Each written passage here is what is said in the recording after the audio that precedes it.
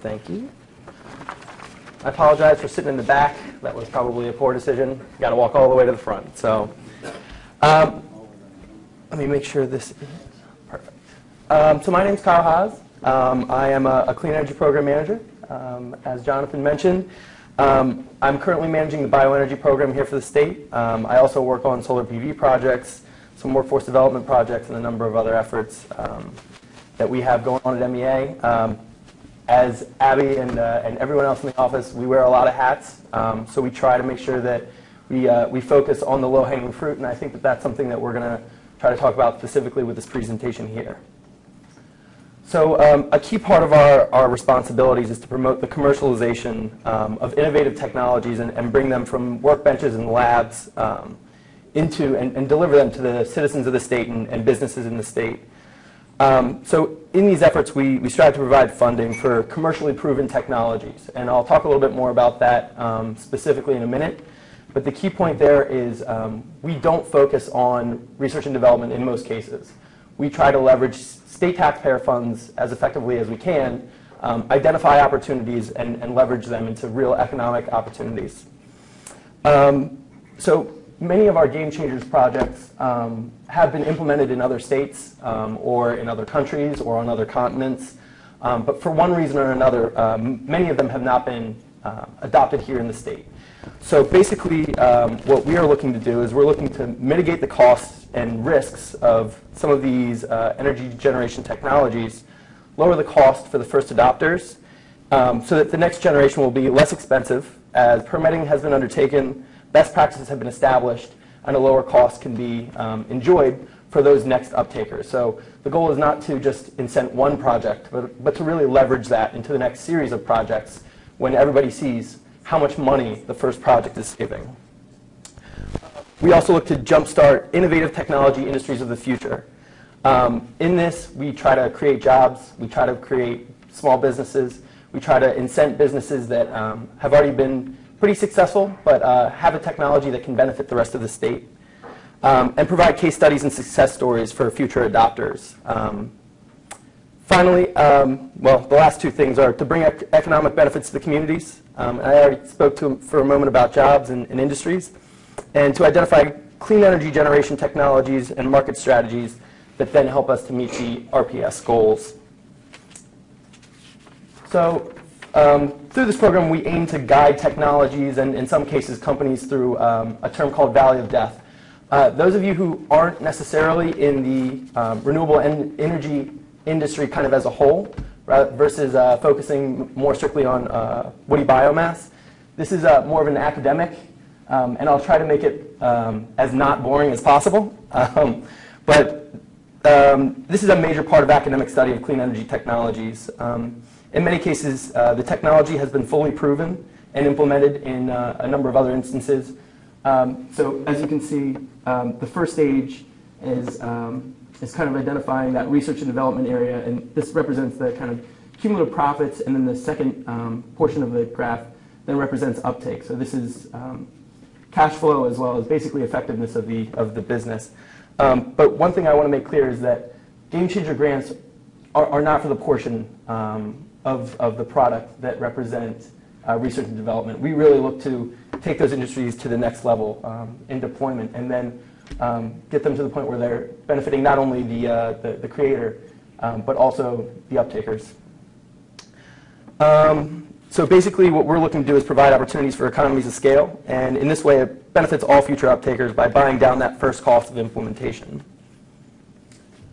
So um, yeah, I, won't spend too much time on this because uh, most of you are, uh, have more expertise um, on these uh, and, and, know this better than I do. Um, but the, the key point is that the, uh, a resource exists, it's currently underutilized, and um, we need to find effective and uh, cost-effective ways um, of implementing it, saving money, and then really getting to that deployment phase and, and that saturation of the market. So um, now I'm going to spend a little bit of time talking about Catoctin Mountain growers um, and the technology um, that we're specifically implementing in this case. Um, we really feel like this is low-hanging fruit and uh, an opportunity to, uh, to bring things to the next level. Um, Catoctin Mountain Growers uh, is 14 acres of greenhouses. I actually uh, believe that in the past few months, um, they've actually expanded past 14 acres of, uh, of greenhouses. Um, and they really focus on wholesale greenhouse operations. So uh, they produce um, spring bedding plants, uh, fall pansies, hardy mums, um, and you know more specialty plants that are then purchased by um, commercial landscapers who then install them across the state. Um, that's kind of an intro to them. Uh, the key point there is that uh, they have a lot of space that they need to um, control the climate of uh, throughout 12 months of the year, not only for heating, also for, uh, uh, for cooling. So um, the goal here is um, replacing oil and propane heating systems. They also um, use animal fat. Um, and replacing that with an AFS Energy Systems biomass boiler system, um, combined with the advanced pollution controls from um, Cambridge, who is here this evening. And, and I think both of, uh, actually AFS and Cambridge are both here. They can really kind of talk about their technologies, and, when we have more questions, I answer a few, but I, I feel like they're the real experts. It's their technology. So I'm going to allow them to answer some of the questions on the specifics of that. Um, but the, the real point is, um, you know, from our perspective, from MEA, is um, the efficiency and um, the costs that, that are really going to be taken advantage of here. Um, so a 73% efficient system um, compared to oil heating, compared to electric heating, you know, in, in some cases, um, as well as as well as propane, it's it's vastly more efficient and much more cost effective. The pollution controls uh, clean particulate matter from the air, further reducing the environmental impact. Um, but the thing that I think really speaks to um, what we're looking to do here is, uh, and there's a little more on the pollution controls, is the economic analysis. Um, this is uh, a simple payback of 4.3 years. Um, when you compare that to some of the other renewable energy technologies out there, there's, there's really no comparison. It's, I mean, the number's all out there. I, I don't need to, to bore you with some of the calculations, and, and we're kind of going through this. But that said, the, the real number there is, is on the right. The real numbers are on the right side of that. Um, if you're saving seven hundred thousand dollars a year, you don't really have uh, have to make much of an argument outside of you know a payback period of 4.3 years. So I won't spend too much time on that. Um, for us, the, the key goal here is, um, is, is implementation and replication. We want to make sure that this is a successful project um, that then can be used as a trophy to show other business owners, whether it be um, a community college uh, on the Eastern Shore that's currently heating with air source heat pumps, um, showing them a case study that says, this is what we've done, these are the cost savings that we've, um, that we've, that we've realized, and more importantly, um, these are the barriers that we've identified. And here's how we've identified moving past those barriers. That can be um, a very effective tool for helping a facilities manager to decide that he's going to move forward with that next project. Um, and the next step is, is replication. Um, and that's, that's really the thing that we're looking to, to go for. Um, the first step of that is implementing a successful project, but by buying down those first adopter costs and showing the values and the opportunities to these other institutions, um, providing lessons learned and, and kind of guiding these folks, uh, leveraging state uh, taxpayer funds uh, as well as our time most effectively, we feel like we have a really good opportunity to work with industry in the state to create jobs, to create economic opportunity um, throughout the state, and really use a resource that we feel has uh, been underutilized. So I'm going to uh, pass it off to, to uh, Delegate Mizeur, and um, thank you guys very much.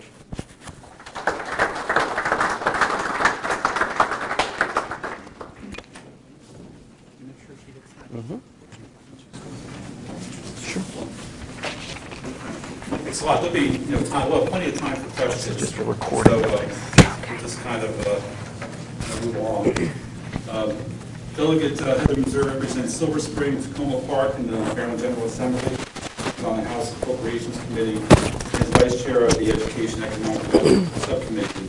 She has led successful efforts to expand renewable energy and promote economic development and protect Maryland's environment. She's been involved in a number of things with uh, health coverage as well and. And- And she was the one in 2012 that championed successful efforts to create Maryland's first biomass uh, residential heating program. So uh, with that, I'll just, uh, please, Delegate Mizeur.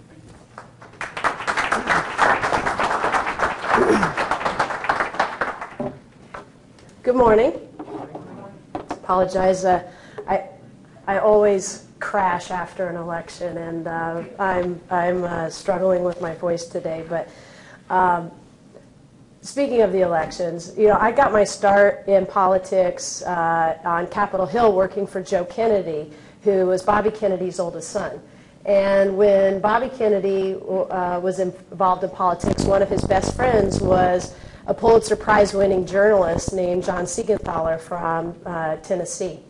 And he liked to tell a story about how John got his start in politics. He would, uh, uh he was a roving cub reporter covering a uh, governor's race in Tennessee.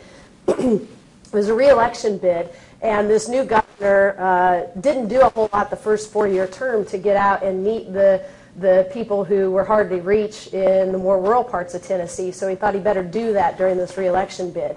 And so John followed him one day on one of these tours, and to get to this little city called Mountain View, they had to go on a lot of back roads that weren't uh, paved, and it was really incredibly difficult to get there from Nashville. But at the end of the day, they get there, and there's a crowd of people because, hey, the governor doesn't visit Mountain View very often. And when the governor was done speaking, uh, getting ready to close his speech, he could tell people really weren't warming up to him all that much. So he finishes his speech by saying, and I promise you that the next time I return to Mountain View, there's going to be a four-lane highway from Nashville to the very top, tippy top of Mountain View. And the crowd goes wild.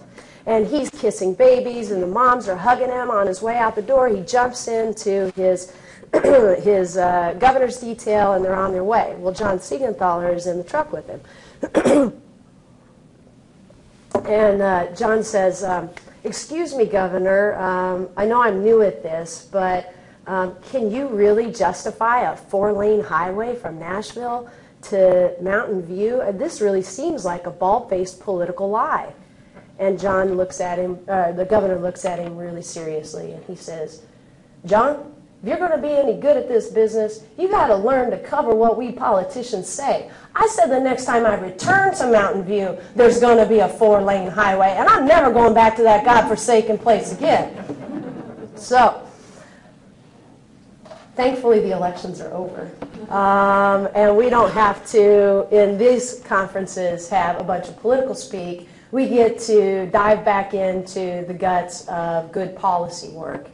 And I really want to thank all of you in this room for the advancements that we have been able to make on renewable energy uh, writ large in Maryland, but on our little corner of the world that, that we biomass enthusiasts have been able to uh, promote here in Maryland. And I can tell you, it's really refreshing to be in a room with specifically a coalition of uh, wood energy aficionados because I, I, I, can tell you when we first got started on this three years ago with General Assembly, uh, Richard Thomas of Cortland Hardware and I passed around a uh, bucket of wood pellets around the committee room where we had our biomass bill hearing. And most of my colleagues were picking the pellets up and smelling them, making sure they weren't rabbit poop. Um, and so we had, we had a lot of uh, education work to do with our colleagues over, uh, over the course of the last couple of years uh, to get them to engage and understand how biomass was unnecessarily being uh, left in the cold when we were ramping up and advancing all of our other uh, renewable portfolio options in the state. And uh, this conference, of course, couldn't come at a more critical time because uh, if we look down our uh, energy future path, whether we're talking the next five to 10 years or even 20, 50 years and beyond, uh, our energy future in this state and our nation uh, has to be clean and renewable. We have set those guidelines and, and, guideposts in, in our law already. And the only way we're going to meet our targets for reducing carbon emissions um, and getting 20% of our energy from renewables by 2022 is uh, by advancing the work of all, putting to work all of our renewable options, including biomass. Um, it's the only way that, uh, that we're going to be able to reduce the dependence on electricity. We have to cut that by 15% in the next year. And of course, we all are working on uh, nationwide a goal of, of having a redu reduced dependence on foreign energy to strengthen our economy and to protect our national security. If you visit Annapolis during session, you're going to hear a lot of buzz about a range of alternative energy options. We're talking about putting wind turbines off the coast of, of Ocean City. We're talking about solar panels on our neighbors' roofs. And we're talking about biomass stoves in your house and boilers in your children's elementary schools. Because clean renewable energy is here to stay. And of course, future generations are going to benefit from that. But the question is how big of a role for biomass? And that's really going to be determined by you, by those of us in this room. Uh, we've got a lot of challenges that lay ahead of us to take what is a, an initial investment in a grant project and turn it into something even bigger and better. So I got started a little bit on the background of how we got to where we are. I got started on biomass in one of the most democratic ways that you can as a legislator, um, a discussion at a town hall meeting with constituents. Uh, John Ackerley from the Alliance for Green Heat is a, is a neighbor and has become a friend. And I first met him at a community coffee where we were talking about ideas for an upcoming legislative session. And he started pitching me on the fact that, um, that he had an idea that would help rural homeowners, rural homeowners uh, who've largely been left out of the discussions when we were talking about um, uh, solar panels and geothermal options, but our rural homeowners uh, and, and some of our middle income, income families would have access to cheaper energy while also reducing our carbon outputs and would also create opportunities for uh, drawing uh, new jobs to Maryland in this industry. He reminded me that our state had been too focused on the wind turbines and the solar panels, and all of that is really critically important, but we're not uh, we're not advancing every piece that we can to this alternative energy puzzle if we're not advocating for biomass.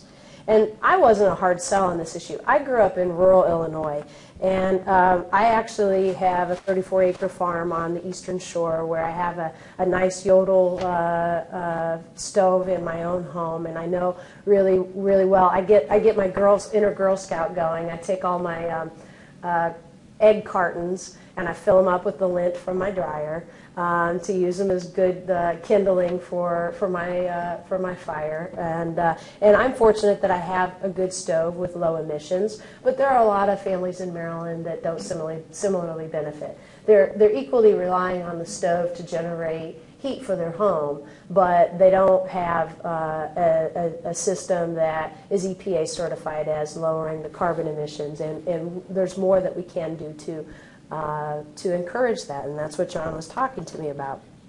But like I said, um, you know, and even within Takoma Park, it was an easy sell. I represent Takoma Park in Silver Spring in the General Assembly, but before that, I was on the City Council in Takoma Park. And while I was on the City Council, we actually built a corn silo on the Department of Public Works so that there would be a cooperative place for the corn necessary for all the growth in the corn burning uh, stoves that people were putting into their green energy homes in Takoma Park. So we were really proud of you know being on the cutting edge of, of biomass issues in Takoma Park. But bringing this conversation to Annapolis was a whole other group of people that we had to uh, convince of its importance. And we were starting from scratch. Until this year, Maryland had focused entirely on programs for wind, solar, and geothermal. Uh, since 2005, our state had spent uh, $35 million on clean energy, but not a nickel on biomass. And so John and I got to work, and we introduced uh, a bill that we called the Renewable Energy for All Act to help Maryland homeowners purchase biomass heating systems. For three years, uh, he and many of you in this room collaborated with us to talk to any legislator who would listen about why Maryland needed to become a biomass state and why wood is an alternative uh, uh, as a renewable resource. It isn't, um, uh, not a lot of people originally would think of wood as a renewable resource. And um, we started that conversation by reminding our colleagues that uh, the wind and solar and geothermal options, while incredibly important and we had to keep advancing those, were out of reach for many, many families in Maryland and that our existing clean energy grant programs weren't really doing much for middle class families that can't afford to purchase or lease solar panels that cost tens of thousands of dollars. And we talked about how biomass offers a cheaper renewable option for these families. and that modern stoves can be three to 10 times cheaper on the front end while being just as much uh, carbon offsetting on the back end as solar. And that it would be especially helpful to rural families um, that have the most expensive heating sources like oil and propane and electricity, that they would be the ones most likely to utilize these grants.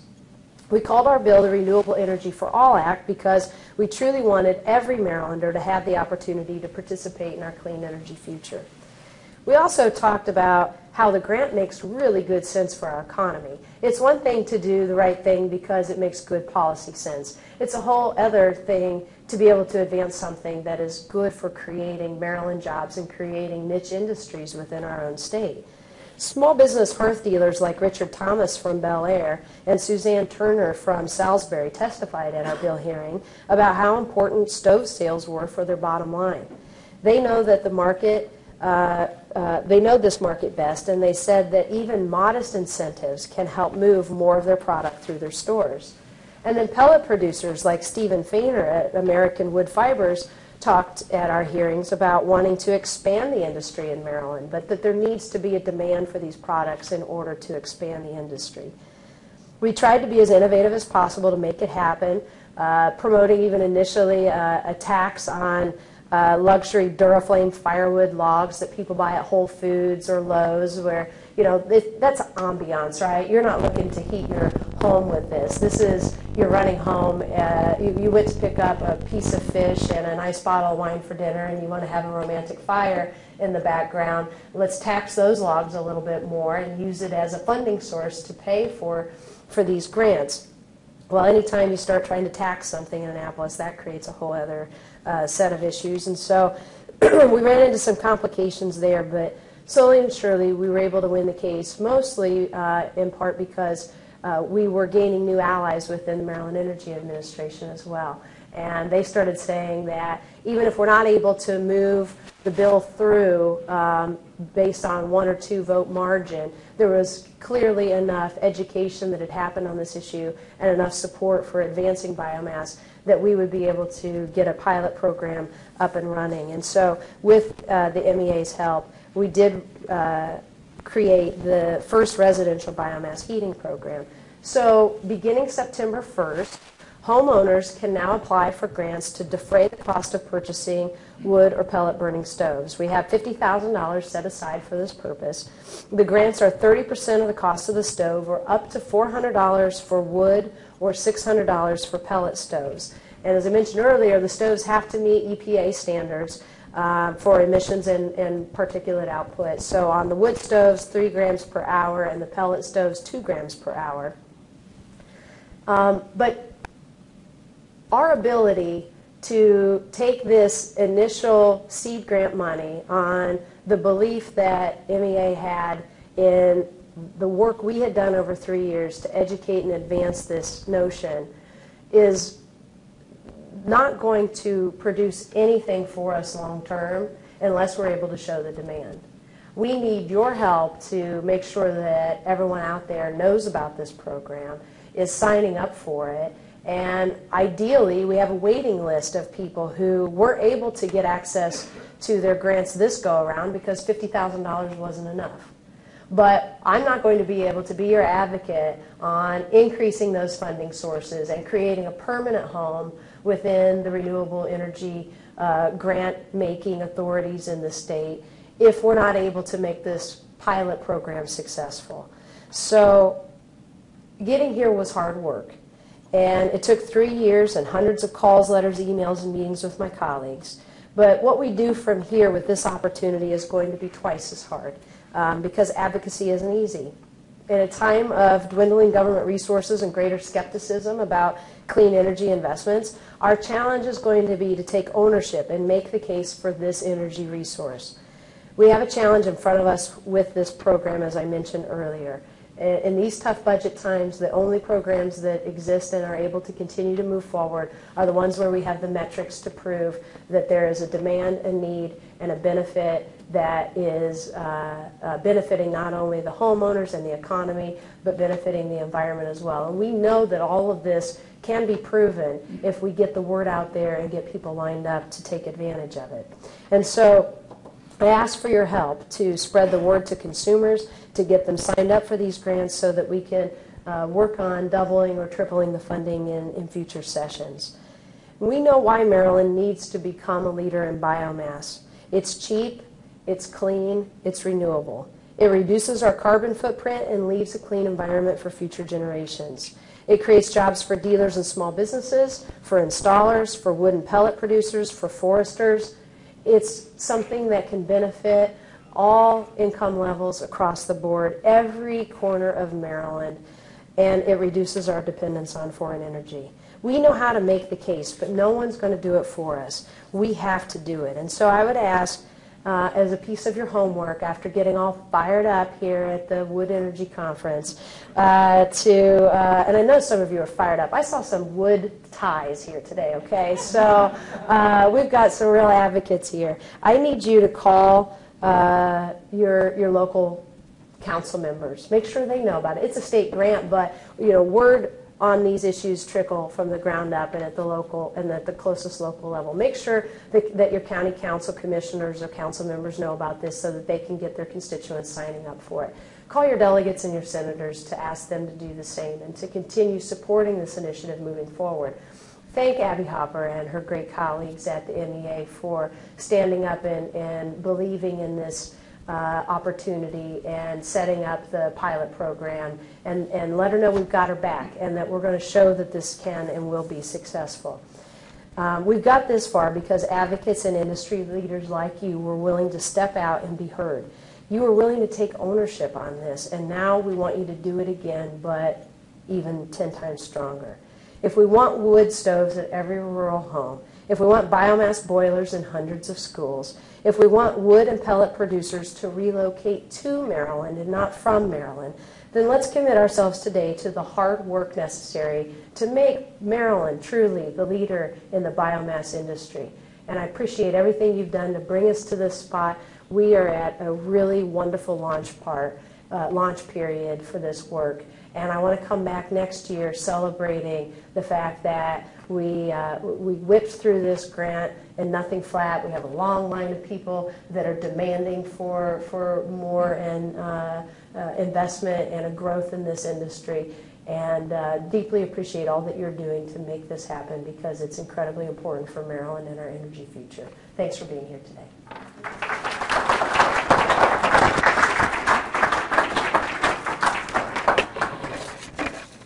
We have some time for questions, so, yes. Heather, if you want to sit up here and, uh, Oh. have some questions?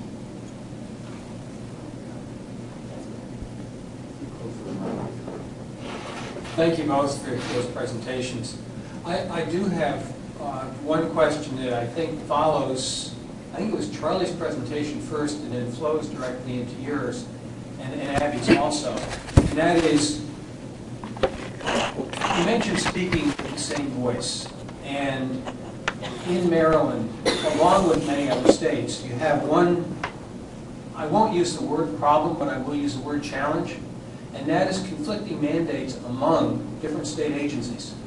Specifically within MDE, there is a question about emissions and a specific standing rule that says there will be no wood boilers within the state within certain ranges by county. What is the best way that you see to solve both that problem as you're seeing the potential here, and also with the International Energy Agency now saying the U.S. is going to export energy by 2035 more than we're using, the challenge that natural gas is going to pose, even though this is renewable and affordable, and it's not. Um, So I, I think the, the first part of that is, um, and that I'll touch on is, is kind of the MDE, as, as you referenced. uh, there's a little bit of a challenge within the environmental community as a whole um, in understanding what our industry is trying to accomplish. Um, There's a lot of misconceptions, um, basically um, rooted from technologies from long, long past um, that currently are half as efficient um, as some of the technologies that companies like AFS, um, in conjunction with uh, technologies from, from Cambridge and, and companies like them, in terms of particulate matter as well as in terms of efficiency. So I think one of the biggest challenges that as an industry we have, and I think in speaking as one voice, um, when we do have audiences with folks like MDE, with folks like some of the nonprofits throughout the state who advocate for um, you know, environmental improvement, um, I think communicating to them that we're all fighting for the same cause and introducing some of these technologies to them that really say, hey, not only is this very efficient, there's some technologies out there now that even uh, mitigates that beyond the efficiency goals that we have over, you know, uh, replacing an air source heat pump. You know, I, I work very closely with, um, with Chesapeake College out on the Eastern Shore. They're currently heating um, most of their facility with air source heat pumps. Um, just doing a very simple math, calculation with them, um, we've piqued their interest, not only in the technology, but also in kind of upgrading some of their other options, whereas they were considering a lot of maybe more expensive technology. So that's, that's one of the ways I think that we can really speak to the environmental community and, and other agencies as a whole. And we've already begun having those discussions with MDE. So I think that's something that we started on, but really getting that um, argument not just from MEA, but also from industry, also from legislators, also from the governor's office. That's one way to go about that. The natural gas challenge is, is considerable, and it's, it's not just um, for the bioenergy industry, it's, it's the renewable energy industry as a whole. Um, that is a challenge that I think the entire industry is scrambling to address. Um, I think there are a lot of avenues, especially in cases like bioenergy, where um, in Western Maryland and the Eastern Shore, there's no access to the infrastructure. And I think that's one major advantage that we have. So that's, I'll go to that. On the, on the regulatory front, um, it is not impossible to bring the agencies together to collaborate on, uh, on an updated viewpoint on, on where we need to go with some of these things. By way of example, um, a year or two ago, another issue that I had taken on was trying to improve the ability for Maryland in both the residential and commercial capacity for improved composting. And if you take a look at our existing regulations, they were in multiple agencies, across the board, confusing, conflicting, didn't work, um, and we were eliminating the opportunity to, to use composting as, as an economic tool as well to bring more jobs into Maryland by having Maryland do a better job at having large-scale industrial composting opportunities. And it was purely from a regulatory environment. And so we went in with the specific goal of pulling together a massive task force of people from the various agencies with a, um, a list of all the competing uh, rules and regulations. And sometimes, I mean, the, our agencies are incredibly hardworking. Um, the budgets are really awful. They don't have the support that they need. The amount of work that we ask them to do for the amount of resources and FTEs to be able to do it don't match up. And sometimes, um, you know, in just running to try to keep up with what uh, the day-to-day is, they don't have time to sit and look and say, oh, wow, our composting regulations, you know, are out of whack, and they're not in line with the other two agencies that are looking at some other form of composting. It takes us in the advocacy community to highlight and pinpoint what those problems are, and then to work with the agencies in a way to um, direct a vision for how to update and, and collaborate to, to get a new response. And in the case of the boilers, we just have new science on our side, right? I mean, in the case where a lot of these regulations were put into place, it, it predates the technology that we have now to uh, rewrite those standards. And so I'm committed to working with you. I've had some experience in working with the agencies to be able to do that already. And, uh, and, and I will continue working with you. But I need your expertise as well. I mean, in the same way that the agencies are running around crazy, I'm also running around on a lot of different issues, and I don't pretend to be the expert on everything, but I do listen to the experts, and I value when you bring me input on what we can do to make government work better on your behalf. That's what we're here for, and that's what the agencies are here for as well. And so we just have, that's why having conferences like these are incredibly helpful, so that we can open these lines of communication and bring forward your ideas and implement solutions that are going to be win-win for Maryland, for our economy, for our private sector that's working to, to help us do this. On the natural gas front, I have had a lot of frustration with that as well. Um, I've been, you know, on a separate measure, I have been leading the charge of making sure that Maryland uh, does this in a pragmatic way, that if we are to drill it all in Maryland, that we only do it um, if it can be proven to be done safely and without the environmental, uh, public health, and economic impacts that we've seen in other states that have drilled first and asked questions later. Personally, I don't think that in order to accept a, a, as a, a, a homegrown energy supply and the jobs that supposedly come along with it, that we have to accept flammable tap water and earthquakes and livestock kills as just a normal course of doing business. And that there is a way that this can be done better with independent, robust scientific review. While that's pending, and, and while Maryland is taking this more pragmatic course, um, as we've seen across the country, the explosion in, in the drilling, the, the, the primary frustration has been that uh, renewables saw a huge uptick when, you know, we're also price sensitive to energy, right? And when it becomes really super expensive, then we start to get people talking about conservation, and then we get to have them talk about renewables.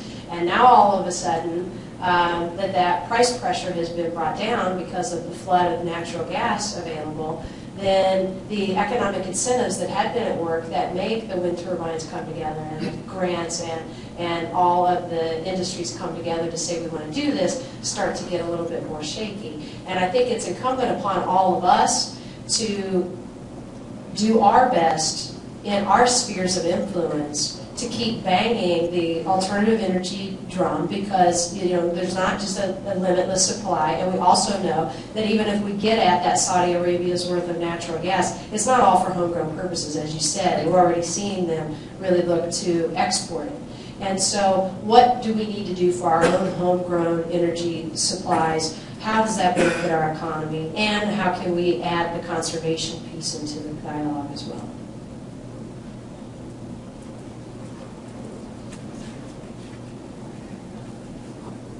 I was just curious, how, um, since since this began on September 1st for the wood stove, how many so far have been utilizing your grant? Because I'm guesstimating if you take 500 people, $500 being the average, that's like 1,000 people. And um, I was just wondering, did you say the 50,000 did come from the tax for the Duraflame, or that was something that was not well received? And the third thing is, is there a fact sheet, brochure, web link, something available? So when we go back to our local council members, county commissioners, delegates, we can say, here, go right here, and here's the little flyer. And or if I have to go into my local stove store right now, would they say, hey, you can do this, look up here on the wall, we've got this brochure. Sorry. Um, I hope I, I- keep that microphone because I, I want to make sure I get to all the points. We, we did not end up taxing the Duraflame, so we didn't have, and what I was att- uh, attempting to do originally was to set up our own ongoing grant program to do this permanently and for there to be a funding source to fund it long-term. And when we weren't able to do that, because we did, we're in an environment here in Annapolis where you can't create a new grant program long-term unless you have a funding source for it. And we ran into a buzzsaw related to, uh, it was more, it was less legislators unwilling to do it, and it was more problematic uh, questions coming out of the, uh, the comptroller's office on how to implement it, how to collect that tax differently and implement it. So there were, there were problems that came up with that identified funding source. So as that started to happen, we contemplated pushing to then just make biomass a part of the existing uh, uh, grant programs that the state was already investing in geothermal and solar. Part of the concern in just making it a permanent part was that the demand already has been proven on solar and geothermal, and there already isn't enough money in those pots to, to, to meet that demand. So how do you add in yet a, a third component that would draw on resources with, without new money? And the compromise that we came up with, with support of MEA, was to do a one-time pilot project to show the demand and the importance and, and how it would work. And so that's where we got the fifty thousand dollars, and that's where I was saying, if we don't have your help in taking uh, the flyer, which I believe does exist on MEA's website, uh, am I right about that, John? Yeah. Um, I knew that we had worked on creating one at one point, it's on somebody's website. Uh, Probably the Alliance for Green Heat has it, and the Maryland Energy Administration. Um, and that's where you can also apply and get information about the, the grant program. But part of it is, it's only September, uh, I mean, it just started in September. I, I would have thought the demand could have potentially eaten that fifty thousand up by now, even in mid-November, but it hasn't been the case. In part, um, it's because of, uh, uh, installation costs. Uh, a lot of low and middle income, uh, uh, households want to access the grant but want to install the new stove on their own to save on the installation cost. And that is uh, one of the prohibitions related to the, uh, to the, the grant. So we're working on a few hurdles that way right now. But um, we could really use your help in making sure that people do know that this program exists and is out there. Okay, with that, I thank you very much for your time.